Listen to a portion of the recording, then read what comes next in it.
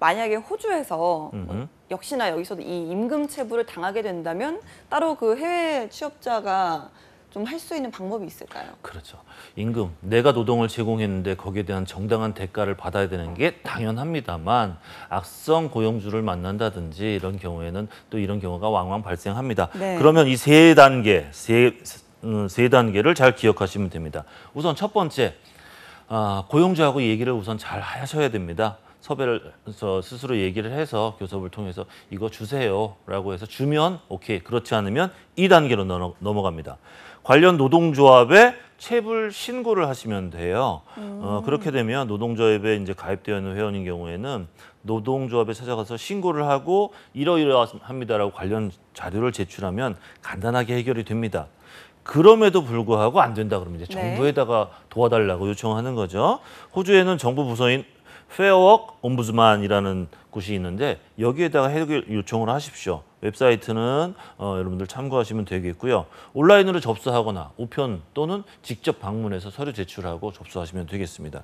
여기에 만약에 어, 접수를 할 경우에는요. 해서 통할 경우에는 본인이 직접 계산해서 나 얼마 못 받았다라고 말씀하셨던 그 금액 있잖아요. 고용주에게 서면으로 요구하고 일주일이 지나도 그 고용주가 별도로 답장이 없거나 조치가 없을 경우에는 이제 진정서가 접수가 되게 되고요. 어, 그 다음에 이제 보상을 받을 수가 있게 되는데 가장 먼저 중요한 거는 고용주하고 잘 이야기해서 음, 체불된 임금 네. 받는 게 가장 좋은 방법이겠죠. 네, 뭐 이렇게 좀 마지막으로 페어워크 옴부즈맨 방법까지 알아봤는데요. 네네네. 만약에 이 페어워크 옴부즈맨에 이제 구제 신청을 할 경우에 네. 그냥 막상 가서 이야기만 해서는 되지 않고 어떤 증거 자료도 필요할 것 같거든요. 그렇죠, 그렇죠. 일단 누가 안 줬는지를 명확하게 해야 돼요. 고용주 이름 들어가야 됩니다. 그리고 근무했던 근무처죠. 회사 이름하고 주소. 왜냐하면 우편물 보내거나 찾아가거나 해야 되기 때문에요. 네. 그다음에 내가 어떻게 근무를 해왔는데 돈을 안 줬다라는 근무 기록 이것 제출해야 됩니다.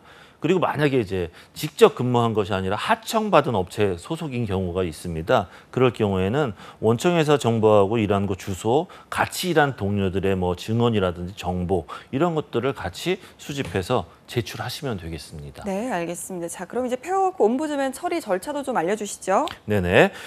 어, 페어워크 옴부즈만을 통한 해결 처리 처리 절차 4단계로 나눠져 있어요. 일단 일단 첫 번째로 1단계를 보게 되면은 고용 기간 동안의 채용 내부, 내용을 잘 정리하셔야 되고요. 서면으로 고용주한테 발송을 하게 되면 7일의 기간을 줍니다. 답변 요구하는 요구서 편지를 발송하고요.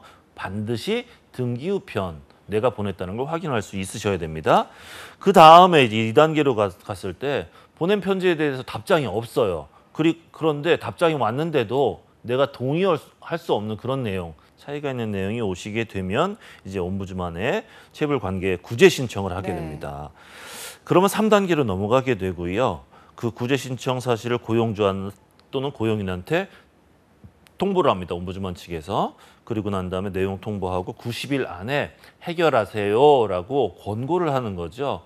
그렇게 거기서 서로 간의 노력이 끝나게 되면 우리 이렇게 해결했어요라고 통보를 할 텐데 만약에 그렇지 않으면 이제 4단계로 패스하게 됩니다.